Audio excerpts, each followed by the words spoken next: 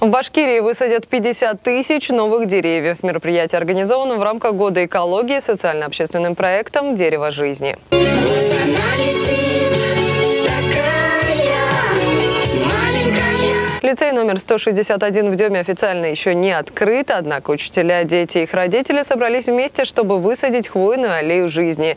Резкая смена погоды добровольцев не испугала. первый снег, он будет не в минус, а только плюс нашим росткам, которые мы сегодня посадили. И надеюсь, что наша аллея произрастет и будет очень красиво и радовать всех. Мы посадили вместе со своим ребенком это дерево, и теперь будем наблюдать, как оно растет.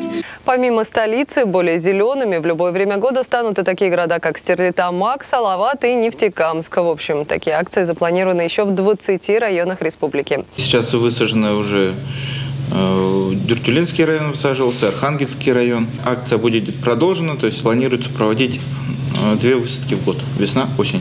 Вообще, конечно, хотелось бы, что каждый житель э, республики, если по одному дереву посадит и будет 4 миллиона, это была бы самая лучшая статистика вот данного мероприятия.